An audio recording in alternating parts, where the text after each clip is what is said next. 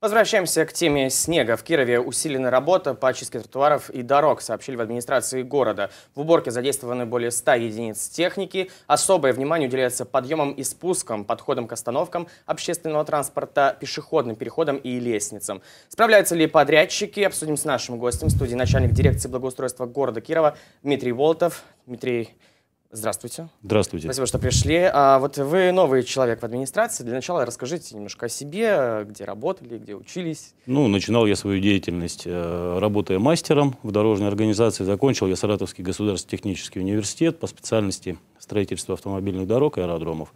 Значит, э, работал мастером, после начальником участка, далее работал заместителем директора, после чего ушел в МВД, отслужил 20 лет в МВД, и после этого, то есть, работал уже при переезде в Киров, работал в Вятавтодоре заместителем генерального директора по общим вопросам. Далее был назначен директором дирекции благоустройства. Ну, вот вы уже успели оценить э, фронт работы в рамках своей должности? Да, конечно, мне хватило времени оценить. Фронт очень большой, то есть объемы грандиозные, все, объемы также связаны ну, в связи с предстоящими праздниками 650-летием города Кирова, то есть э, это объемы по благоустройству, по, то есть э, будем э, ремонтировать, производить ремонт, значит, покрытие проезжей части, тротуаров, скверов, парков, освещения, то есть объемы очень большие, то есть и их надо выполнить в кратчайшие сроки, то есть к моменту проведения праздничных мероприятий. Ну, это можно назвать первостепенными какими-то задачами? Это самые главные задачи, то есть э, на текущий год,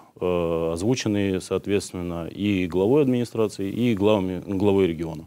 Ну вот э, сейчас основная, пожалуй, проблема в городе – это уборка снега. Справляются ли подрядчики у нас? Да, я могу сказать, что подрядчики справляются. Мы основной упор, конечно, делаем на ну, большие магистральные улицы, после чего отрабатываем уже периферию. То есть поэтому, конечно, все сразу отработать невозможно, поэтому стараемся ну, произвести э, очистку проезжей части и именно по магистральным улицам, там, где осуществляется автобусное движение, то есть и большее количество пешеходов, а также пешеходные переходы, то есть места концентрации людей.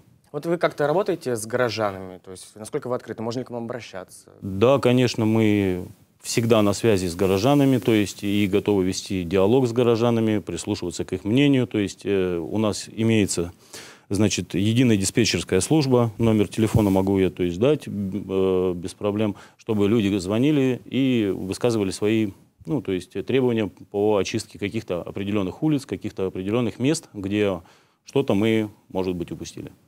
Дмитрий Валерьевич, спасибо вам большое за то, что сегодня пришли, ответили на мои вопросы. И напомню, у нас в студии был начальник дирекции благоустройства города Кирова Дмитрий Болотов. Спасибо большое. Спасибо. Мы продолжаем.